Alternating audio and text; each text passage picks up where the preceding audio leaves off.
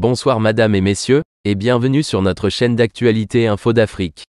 Avant de continuer n'oubliez pas de liker et vous abonner à notre chaîne YouTube afin d'être toujours informé quand nous postons de nouvelles vidéos et surtout commenter afin de nous encourager à travailler pour vous. Merci à ceux qui l'ont fait et bon visionnage. Le Mali défend ses liens avec la Russie et repousse l'ONU. Le ministre malien des Affaires étrangères a défendu vendredi la coopération du gouvernement militaire avec la Russie et a rejeté trois options proposées par le chef de l'ONU pour reconfigurer la force de maintien de la paix de l'ONU dans ce pays d'Afrique de l'Ouest où les groupes extrémistes d'Al-Qaïda et de l'État islamique alimentent l'insécurité. C'est ce qu'a rapporté ce 27 janvier Dev Discourse. Comme Abdoulaye Diop a déclaré au Conseil de sécurité de l'ONU que la sécurité était la priorité absolue du pays et que le Mali ne continuerait pas à justifier son partenariat avec la Russie, qui fournit formation et équipement aux militaires. Il n'a pas mentionné le groupe russe Wagner, l'entrepreneur militaire privé lié au Kremlin.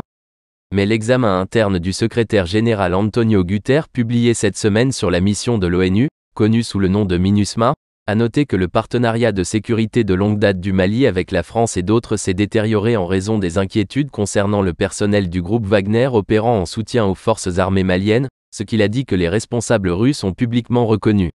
L'ambassadeur adjoint des États-Unis, Richard Mills, a déclaré que les États-Unis se félicitaient de la reconnaissance par l'ONU dans l'examen interne de la présence du groupe Wagner au Mali. Il a qualifié Wagner d'organisation criminelle qui commet des atrocités généralisées et des violations des droits de l'homme au Mali et ailleurs. Les États-Unis ont imposé plusieurs vagues de sanctions à Wagner et à son propriétaire, Yevgeny Prigozhin, un millionnaire voyou ayant des liens de longue date avec le président russe Vladimir Poutine. L'année dernière, la France a retiré ses troupes du Mali, où elles aidaient depuis 9 ans à chasser les extrémistes islamiques du pays, à la suite de tensions avec la junte au pouvoir et de l'arrivée de mercenaires wagnériens. Leur présence est assimilée à des abus réguliers contre les civils maliens et à une obstruction croissante à la MINUSMA, a déclaré vendredi l'ambassadrice adjointe de la France à L'-ONU, Nathalie Broderst, devant le Conseil de sécurité. Le Mali lutte pour contenir une insurrection extrémiste islamique depuis 2012.